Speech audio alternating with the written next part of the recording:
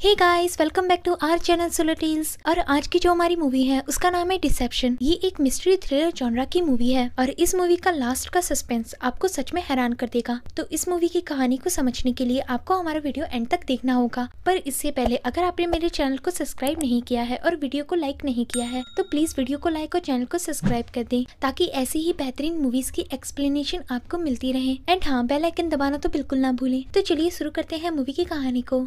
तो कहानी की शुरुआत में हम जॉनथन को देखते हैं। जॉनथन पेशे से एक बैंक अकाउंटेंट था और मैनहट्टन शहर में रहता था। जॉनथन के ज़्यादा दोस्त नहीं थे और वो अपने काम को ही अपना सब कुछ मानता था। एक रात जब जॉनथन अपने ऑफ़िस में बैठा लेट नाइट वर्क कर रहा था, तभी उसे कुछ याद आया और उसने टाइम चेक करने के लिए अपनी वॉच देखी, पर तभी उसे किसी ने आवाज़ दी कि अभी रात के ग्यारह हो रहे हैं। जब जॉनथन पीछे पलटा तो उसने देखा कि ये तो व्हाइट है। व्हाइट एक लॉयर था और अभी वो जोनाथन जहाँ पे काम करता है, उसी कंपनी में किसी सिलसिले से रुका हुआ है। व्हाइट जोनाथन की मेहनत देखकर बहुत खुश होता है और उससे बहुत सारी बातें करता है। बाद में ये दोनों सिगरेट पीते हैं और अपने अपने घर लौट जाते हैं। यहाँ जोनाथन घर जाने के लिए ट्रेन का इंतज़ार करता है, पर तभी वहाँ पर एक लड़की आ जाती है और वो जोनाथन से पूछती है कि क्या ये ट्रेन कैनल स्ट्रीट पहुँचने वाली ट्रेन है? तो जोनाथन कहता है हाँ ये वही ट्रेन है। अब ये दोनों ट्रेन में चढ़ जाते हैं और फिर इन दोनों के बीच कोई बात नहीं होती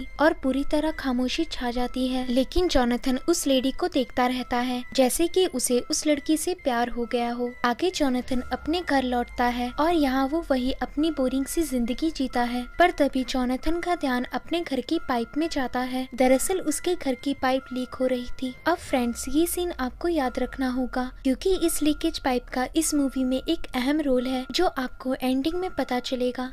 अगले दिन जोनाथन और व्हाइट एक बार फिर से मिलते हैं और टेनिस खेलते हैं। बाद में व्हाइट जोनाथन को अपने घर, अपने अपार्टमेंट ले चलता है। व्हाइट का अपार्टमेंट काफ़ी शानदार था और इसमें कई तरह की बुक्स और पेंटिंग्स थी। जोनाथन व्हाइट के घर की काफ़ी तारीफ़ करता है। तो व्हाइट कहता है कि मैं तुम्हें इससे भी सुंदर जगह दिखा सकता हूँ। फिर नेक्स्ट सीन में ये दोनों एक क्लब में होते हैं और यहाँ वह बहुत सारी बातें करते हैं और फिर कुछ ही दिनों में इन दोनों की फ्रेंडशिप काफ़ी गहरी हो जाती है। एक दिन व्हाइट जोनाथन जोनाथन को बताता है कि उसे उसके बॉस रूदर फोर्ट ने बहुत ज़रूरी काम के लिए लंदन बुलाया है तो इसलिए वो अब यहाँ से जा रहा है। पर कुछ हफ्तों में ही लौट आएगा। तो ऐसा कहकर व्हाइट अपने काम के लिए निकल जाता है। अब जोनाथन अकेले में काफ़ी बोर होने लगता है, पर तभी उसे एक वॉइस कॉल आता है और वो देखता है कि उसके पास अभी जो फ़ोन है, वो असल में व्हाइट का है। और शायद इस वक्त व्हाइट के पास जोनाथन का फ़ोन होगा। मतलब इन दोनों के फ़ोन आपस में एक्सचेंज हो गए थे। जोनाथन व्हाइट को बार बार कॉन्टेक्ट करने की कोशिश करता है, लेकिन उसका फ़ोन ऑफ़ आता है। आगे जोनाथन को व्हाइट के फ़ोन पर एक कॉल आता है। इस कॉल में एक लेडी की आवाज़ होती है और वो जोनाथन से पूछती है कि क्या आज रात को तुम फ्री हो? तो जोनाथन हाँ कर देता है। अगले सीन में जोनाथन एक अजीब से होटल में होता है। दरअसल यहाँ का एड्रेस जोनाथन को उसी कॉल वाली लेडी ने दिया था। आगे इस होटल में एक लेडी आती है और वो जोनाथन से पूछती है कि क्या तुम यहाँ किसी का वेट कर रहे हो? तो जोनाथन इससे पहले कुछ बता पाता। वो लेडी जोनाथन को होटल के कमरे में ले जाती है और यहाँ ये दोनों एक रंगीन शाम बिताते हैं। अगले दिन जब जॉनथन जागता है तो उसे वहाँ पर कोई नहीं दिखता। जोनाथन को लगता है कि व्हाइट किसी खास क्लब का मेंबर है, जिसमें उसे लड़कियाँ मिलती रहती हैं। फिर एक दिन जॉनथन को व्हाइट का कॉल आता है। व्हाइट कहता है कि लगता है कि हम दोनों के फ़ोन एक्सचेंज हो गए हैं। तो इस पर जॉनथन हाँ कहता है और उसे उसके फ़ोन कॉल और होटल वाले किस्से के बारे में बताता है। तो व्हाइट कहता है, फ़िक्र मत करो और जब तक तुम्हारे पास मेरा फ़ोन है, तब तक एंजॉय करो। ऐसा कहकर व्हाइट फ़ोन रख देता है। फिर एक रात जब जॉनथन एक ओल्ड लेडी से एक होटल में मिलता है तो उसे उस लेडी से पता चलता है कि ये एक सीक्रेट क्लब है।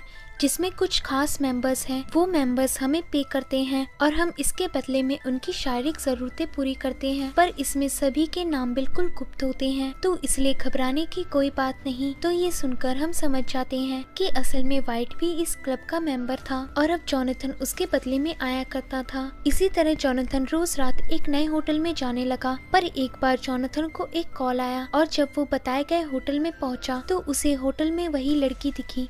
जिसे उसने ट्रेन के पास देखा था और वो लड़की भी इसी क्लब की मेंबर थी। साथ ही उसी ने जॉनथन को कॉल किया था। जॉनथन उस लड़की को अपने साथ एक कमरे में ले जाता है, लेकिन वो उसके साथ कुछ नहीं करता और उसे याद दिलाता है कि मैं वही आदमी हूँ जो तुम्हें ट्रेन के पास मिला था और मेरा नाम जॉनथन है।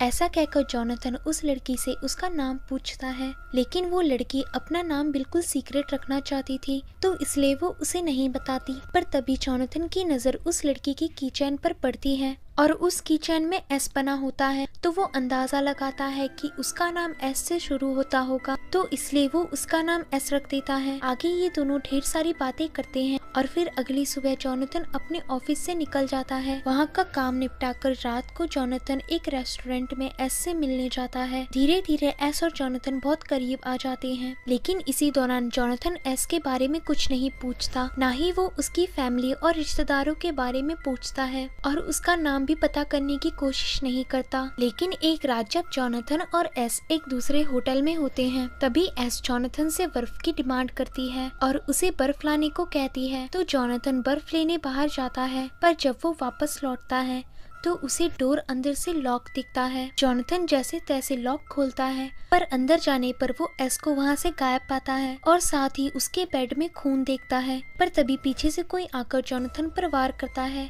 और फिर जॉनथन बेहोश हो जाता है और जब होश में आता है तो वो उस बेड को बिल्कुल सही तरह से सजाया हुआ पाता है। अब जॉनथन काफ़ी घबरा जाता है और पुलिस को कॉल करता है। फिर नेक्स्ट सीन में पुलिस वहाँ आती है और जॉनथन का बयान लेती है। लेकिन पुलिस वालों को पता चलता है की जॉनथन को उस लड़की का नाम भी नहीं पता तो उन्हें ये केस थोड़ा सा फेक लगने लगता है और वह बताते हैं कि तुम्हारे पास उस लड़की की कोई जानकारी भी नहीं है और न ही इस होटल में हमला होते वक्त कोई और कस्टमर यहाँ था। इसके अलावा हमें कहीं पर भी बेड पर कोई खून नहीं मिला तो बगैर किसी फिक्स रिपोर्ट के हम कोई एक्शन नहीं ले सकते। ऐसा कहकर पुलिस वाले उसकी मदद नहीं करते।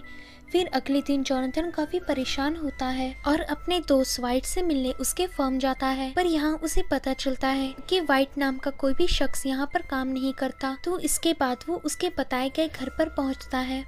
और यहाँ उसके अपार्टमेंट में एक ओल्ड लेडी दिखती है। वही इस घर की असल मालकिन थी और ये कुछ दिनों के लिए बाहर गई हुई थी। ये ओल्ड लेडी बताती है कि इस अपार्टमेंट में तो क्या इस पूरी बिल्डिंग में कहीं व्हाइट नाम का कोई आदमी नहीं रहता? तो ये सुनकर जोनाथन काफ़ी सरप्राइज़ हो जाता है और अपने घर लौटता है। लेकिन यहाँ पर उसे व्हाइट मिलता है, जो की उसका इंतज़ार कर रहा था। जोनाथन व्हाइट को यहाँ देख काफ़ी शौक रह जाता है। लेकिन फिर व्हाइट उसे बताता है की असल में एस अभी ज़िंदा है। मैंने उसे किडनैप किया है। लेकिन अगर तुमने मेरी डिमांड पूरी नहीं की तो मैं उसे बहुत जल्दी जान से मार डालूँगा। तो जोनाथन पूछता है, कैसी डिमांड? व्हाइट बताता है कि तुम लोगों के अकाउंट्स एक्सेस करते हो। तो तुम्हें कुछ लोगों के अकाउंट से 20 मिलियन डॉलर चुरा कर अपने किसी स्पेन वाले अकाउंट में भरने होंगे। ऐसा इसलिए क्योंकि अगर तुमने मेरे अकाउंट में डायरेक्ट भरा तो वहाँ की गवर्नमेंट को मुझ पर शक हो जाएगा, क्योंकि वहाँ के कुछ लोग मुझे जानते हैं। अगर तुम्हारे अकाउंट में पैसे आने के बाद मैं तुम्हें वहाँ ले जाकर वो पैसे निकलवा लूँगा तो जोनाथन कहता है कि अगर लोगों को पता चला तो प्रॉब्लम हो जाएगी, लेकिन व्हाइट बताता है कि तुम्हें कुछ स्पेशल अकाउंट से पैसे निकालने होंगे, और वो अकाउंट्स तुम्हें मैं दूँगा। ये लोगों के प्राइवेट अकाउंट्स होंगे, जिसमें लोग सरकार से छिपाए हुए पैसे रखते हैं और गलत कामों पर खर्च करते हैं। तो अगर तुमने उनके अकाउंट से चोरी भी की तो वो लोग डर के मारे कंप्लेन नहीं करेंगे और तुम्हारी एस तुम्हें वापस मिल जाएगी।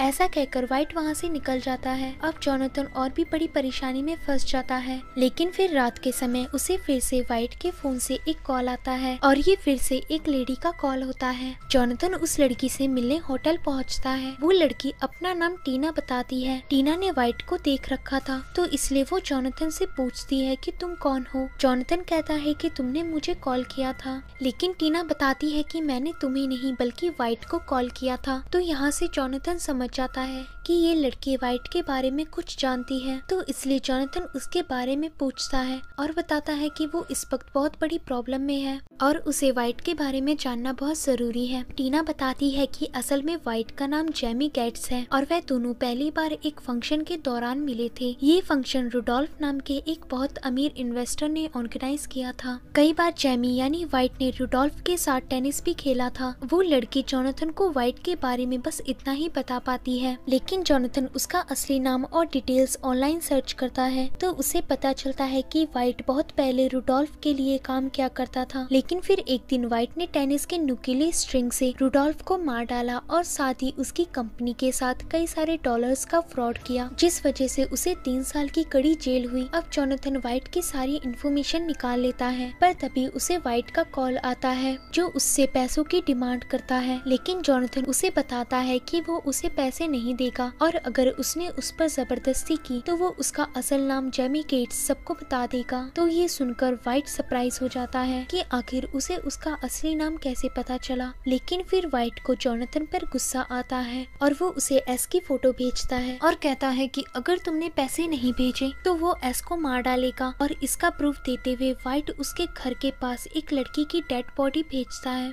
और ये वही लड़की थी जिसके साथ जोनाथन पहली बार होटल में मिला था। तो ये देख देखकर जोनाथन समझ जाता है कि अगर वो इस लड़की को मार सकता है तो उसे एस को मारने में कोई देरी नहीं होगी। अब जोनाथन सीधा अपने ऑफ़िस जाता है और अपने कंप्यूटर से उसके भेजे गए अकाउंट से पैसे चुरा कर अपने स्पेन वाले अकाउंट में भर देता है। इसके थोड़ी देर बाद ही जोनाथन को एक मैसेज और एक फ़ोटो आता है और ये मैसेज व्हाइट का था जो उसे बताता है कि एस तुम्हारे घर में तुम्हारा वेट कर रही है। तो ये देखकर जोनाथन जल्दी से अपने ऑफ़िस से होते हुए अपने बिल्डिंग के अपार्टमेंट में पहुँचता है। पर तभी उसकी आधी बिल्डिंग में बहुत तेज का धमाका होता है, जिससे जोनाथन मर जाता है, पर तभी हम वहाँ पर व्हाइट को देखते हैं, जो ये सब देखकर काफ़ी खुश होता है। दरअसल व्हाइट अपना क्रिमिनल रिकॉर्ड पूरी दुनिया से साफ़ करवाना चाहता था, और इसलिए उसने बड़ी चलाकी से जोनाथन को मारकर उसकी आइडेंटिटी लूट ली थी। मतलब ये उसी का प्लान था जोनाथन को मारने का। अब कहानी आगे बढ़ती है, और हमें व्हाइट को दिखाया जाता है। जो स्पेन में आ जाता है, यहाँ वो अपनी आइडेंटिटी बदल लेता है और खुद को नकली पासपोर्ट से जोनाथन की आइडेंटिटी दे देता है। अब व्हाइट अपने स्पेन वाले घर पहुँचता है और यहाँ हम एस को देखते हैं, जो असल में इस पूरे इंसिडेंट में व्हाइट की पार्टनर थी और जोनाथन को लूटने के लिए एस ने उससे प्यार का नाटक किया था।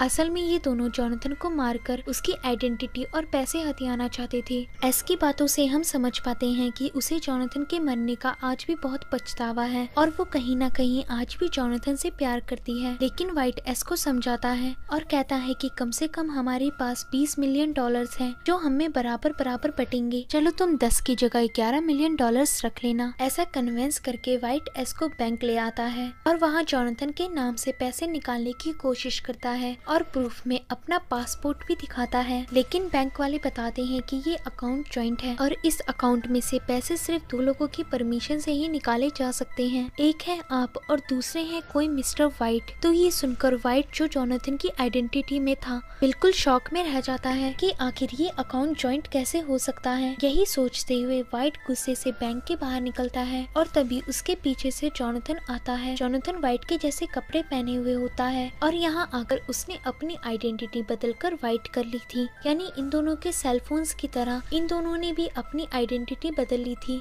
व्हाइट पूछता है कि तुम ज़िंदा कैसे बचे? तो जोनाथन बताता है कि जब तुमने मुझे एस की फ़ोटो भेजी थी तो उस फ़ोटो में मेरे अपार्टमेंट की पाइप बिल्कुल ठीक थी, लेकिन उस टाइम कुछ दिनों से मेरे अपार्टमेंट की पाइप टूटी हुई थी। तो इसका मतलब था कि तुम और एस मिले हुए थे, और तुमने ये फ़ोटो बहुत पहले मेरे घर में चोरी से एंटर करके क्लिक की थी। जब मुझे ये पता चला तो मैं उसी वक्त अपनी बिल्डिंग से भाग गया, और कुछ इस तरह से मेरी जान बच गई। इसके बाद मैंने बड़ी चालाकी से उस अकाउंट को ज्वाइंट भी कर दिया और अब तुम मेरे साइन के बगैर पैसे नहीं निकाल सकते। तो ये सुनकर व्हाइट जोनाथन के साथ एक डील करता है और कहता है कि हमें वो पैसे निकाल कर बांट लेने चाहिए, वरना वो सारे पैसे बेकार हो जाएँगे। तो इस पर जोनाथन भी हाँ करता है। फिर ये दोनों बैंक में अपना अपना नकली पासपोर्ट दिखाकर पैसे निकलवा लेते हैं। लेकिन बैंक से बाहर जाने पर जोनाथन को एस की याद आती है और वो व्हाइट से कहता है कि अगर तुम मुझे एस तक ले चलोगे तो मेरे दस मिलियन डॉलर्स में से मैं तुम्हें पाँच मिलियन दे दूँगा। तो ये सुनकर व्हाइट जोनाथन को एस के पास ले चलने को तैयार हो जाता है। लेकिन वो धोखे से जोनाथन को सुनसान रास्ते में ले आता है और उसके ऊपर गन तान लेता है। व्हाइट कहता है कि तुम्हें मारकर मुझे वो पूरे दस मिलियन डॉलर्स मिल जाएँगे। ऐसा कहकर वो उस पे गोली चलाने ही वाला होता है कि तभी पीछे से एस व्हाइट को गन से शूट कर देती है और व्हाइट वहीं उसी इलाके में मर जाता है। दरअसल एस जोनाथन को अपना गिल्ट भुलाने के लिए बचाती है और फिर वहाँ से चली जाती है। इसके बाद एस जोनाथन से कभी नहीं मिलती और दूसरे शहर में शिफ्ट हो जाती है। तो कुछ इस तरह इस मूवी की एक सैड एंडिंग होती है, पर लास्ट में इस मूवी की एक और अल्टरनेट एंडिंग होती है, जिसमें हमें दिखाया जाता है कि पैसे मिलने के बाद व्हाइट और जोनाथन अपने अपने घर लौट जाते हैं और फिर कभी नहीं मिलते। इस एंडिंग में जोनाथन को का ख्याल नहीं आता, क्योंकि वो उसे धोखा देकर जा चुकी थी और अब शायद जोनाथन एस से नफरत करने लगा था। तो दोस्तों कमेंट सेक्शन में ज़रूर बताएँ कि आपको इस मूवी की कौन सी एंडिंग ज़्यादा अच्छी लगी।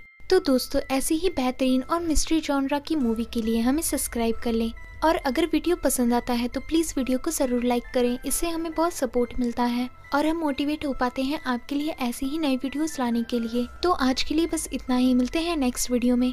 Thanks for watching